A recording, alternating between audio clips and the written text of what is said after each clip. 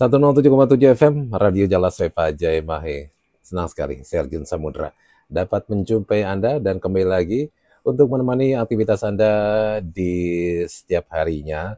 Tentunya dari Radio Jala Seva Jaya Mahe yang hari ini kita masuk di program Sailor News di mana salah satu program yang menghadirkan narasumber kita di sini dan nanti kita akan berbincang-bincang tentunya dengan tema yang berbeda-beda. Hari ini kita mendapatkan kesempatan istimewa untuk berbincang-bincang bersama dengan salah satu narasumber yaitu perwira menengah dari Dinas Hukum TNI Angkatan Laut.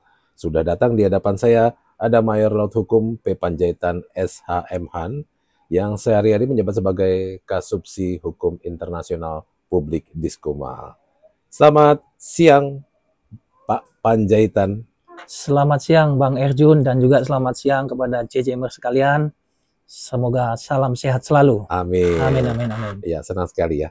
Kita sering kali berjumpa bukan saja pada saat kita wawancara, tapi karena kebetulan kita juga satu gedung. Siap. Beberapa kegiatan mengikut sertakan daerah dia jelas supaya baik. Oke, Jajam 107,7 FM. Tema kita di siang hari ini kita akan membahas tentang peran penyidik TNI Angkatan Laut dalam penegakan hukum di laut. Yang pastinya bersama juga dengan Mayor Panjaitan yang sehari-hari menjadi menjadi kasubsi hukum internasional publik Diskum Angkatan Laut. Uh, kita akan berbicara tentang penyidik TNI Angkatan Laut dalam perannya bagi penegakan hukum di laut.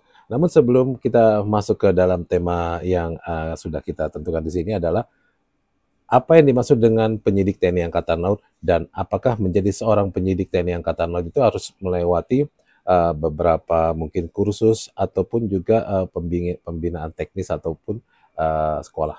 Gimana? Silakan. Baik. Pak Panjaitan. Terima kasih Bang Erjun. Uh, seperti yang tertuang di dalam Undang-Undang TNI hmm. disebutkan salah satu tugas TNI Angkatan Laut adalah penegakan hukum. Hmm jadi seperti yang Bang Erjun tadi sampaikan, bagaimana mekanisme uh, kita ditetapkan sebagai penyidik dan lain sebagainya. Seyogyanya memang uh, seorang penyidik sudah melewati khusus sus perwira penyidik tindak pidana tertentu di laut hmm. yang dikukuhkan dan disumpah yang dilengkapi dengan uh, berita acara penyumpahan. Jadi seperti yang tertuang di dalam undang-undang bahwa semua perwira TNI Angkatan Laut adalah penyidik. Jadi pada saat kita menerima adanya berkas perkara dan lain sebagainya, hmm. uh, ada kalanya dan baiknya adalah uh, penyidik TNI Angkatan Laut yang sudah disumpah. Baik, baik. Dan sering kali juga Dinas Hukum TNI Angkatan Laut melaksanakan pembinaan teknis ya atau yang disingkat BINTEX. Tentunya dalam hal uh, uh, apa namanya memberikan uh, kemampuan agar para penyidik uh, TNI Angkatan Laut ini dapat mampu melaksanakan tugasnya secara profesional dalam penegakan hukum di laut. Nah, kita kembali lagi kepada topik kita, di mana di sini adalah peran penyidik TNI Angkatan Laut. Seperti mungkin juga Pak Panjaitan kalau saya lihat di uh, uniformnya itu ada beberapa kelihatannya pernah bertugas juga ya di di luar ya selain juga di Dinas Hukum TNI Angkatan Laut. Siap. Nah, ini uh, kalau kita berbicara tentang peran, pastinya ada kewenangan dan batasan dari para penyidik TNI Angkatan Laut ini. Bisa dijelaskan singkat saja, silakan. Uh, baik, terima kasih Bang Irjun. Uh, kewenangan-kewenangan kita penyidik seperti yang tertuang dalam undang-undang, ya, kita dapat melaksanakan penyelidikan, yaitu penyelidikan uh, merupakan tindakan-tindakan dari penyidik hmm. atau penyelidik dalam rangka mencari bukti-bukti uh, yang mana jika ditemukan bukti yang kuat maka uh, dapat kita ajukan menjadi ke tahap berikutnya yaitu tahap penyidikan untuk dilengkapi hmm. uh, akan kita kirimkan setelah dinyatakan lengkap akan kita kirimkan ke kejaksaan atau penuntut umum untuk segera disidangkan di pengadilan negeri setempat. Baik. Uh, Kemudian untuk batasan wilayahnya ataupun batasan-batasannya gimana? Uh, batasan-batasannya kita melihat uh, di mana jenis-jenis tindak pidana ada hmm. tindak tindak pidana tertentu yang merupakan uh, kewenangan TNI Angkatan Laut seperti tindak pidana pelayaran, tindak pidana perikanan. Uh, jika kita menangkap atau menemukan tindak pidana yang bukan merupakan kewenangan, maka hmm. Kewajiban dari kita adalah menyerahkan kepada penyidik yang berwenang dalam ini bisa ke kita serahkan ke rekan-rekan kepolisian, hmm. uh, bea cukai atau hmm. ke KSOP. Oke. Dan tentunya sebelumnya dilakukan apa namanya uh, ada penyelidikan, ada laporannya. Nah itu uh, pada saat melaksanakan penyidikan itu apakah mungkin uh, dilaporkan dulu kepada mungkin ke jenjang yang lebih tinggi di atasannya atau bagaimana? Kalau seumpamanya menemukan suatu uh, tindak pidana pada saat mungkin sedang beroperasi atau sedang berlayar di laut, gimana? Jadi teknis untuk pada saat kita melaksanakan penyelidikan atau sedang pemeriksaan, hmm. uh, kita lakukan sesuai dengan SOP yang berlaku. Hmm. Ya kita buat uh, pemeriksaan, jika memang dinyatakan lengkap, kita laporkan uh, berjenjang melalui mekanisme pelaporan yang di Angkatan Laut sesuai hmm. dengan SILOP yaitu telegram ke komando atas. Hmm. Oke. Okay. Nah, salah satu mungkin yang paling sering juga dilihat adalah uh, faktor dari apa namanya uh, hak asasi manusia. Nah, ini kira-kira uh, bagaimana kalau apakah untuk batasan-batasan dari para penyidik TNI Angkatan Laut ini hubungannya dengan uh, penerapan hak asasi manusia. Ya betul Bang Irjun. Jadi setiap uh, kita uh, melakukan pemeriksaan, penyelidikan, penyidikan dan tindakan-tindakan yang lain sesuai dengan kewenangan kita, hmm.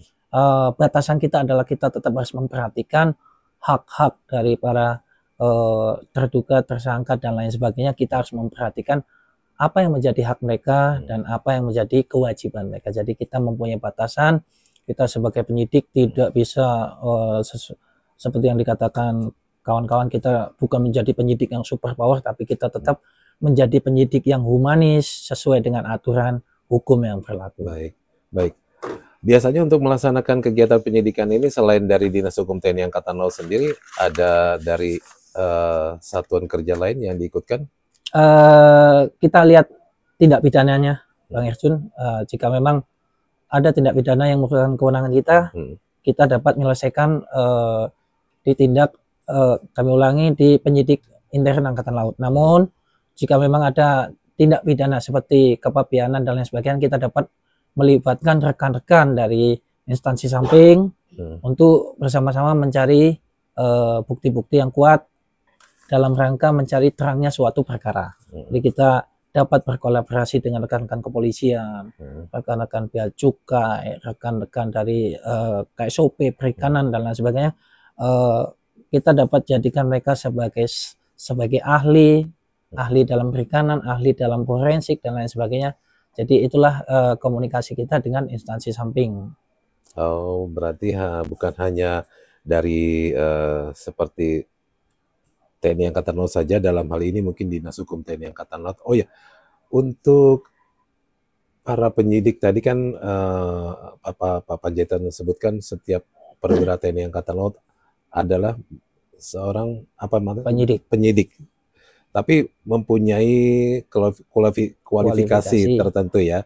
Nah, yang paling sering dimiliki dan harus dimiliki oleh seorang penyidik itu apakah mungkin ada brevet khusus untuk penyidik menjadi seorang penyidik uh, tindak pidana tertentu di laut atau mungkin hanya uh, mempunyai background menjadi seorang sarjana hukum? Karena kan ini kan hubungannya dengan uh, hukum gimana? Baik, terima kasih Bang Erjun. Apa yang tadi disampaikan Bang Erjun semuanya benar. Hmm.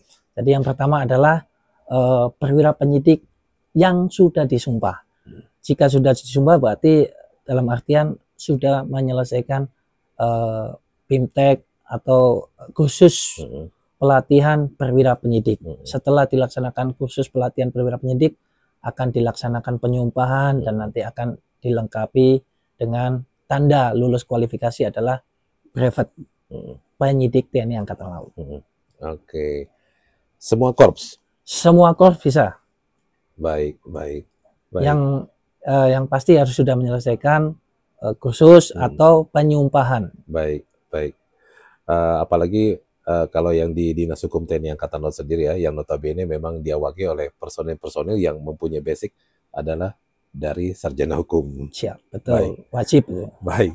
Nah, ini ada beda, ada perbedaan untuk penerapan dalam penanganan kasus tindak pidana yang melibatkan contohnya ada kapal asing ataupun juga yang masuk di wilayah perairan Indonesia dengan kapal-kapal yang berada di dalam negeri.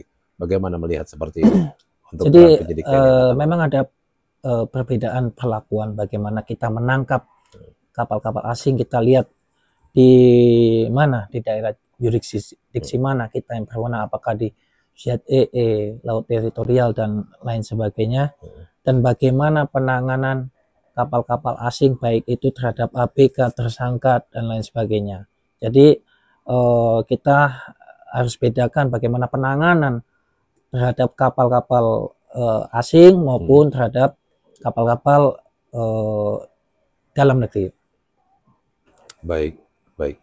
Uh, kalau sumpamanya tadi ada perbedaan, nah ini berarti kan untuk untuk kapal-kapal yang di luar kapal-kapal asing itu kan berarti harus memiliki kemampuan juga untuk berbi, berbicara dengan bahasa asing ya.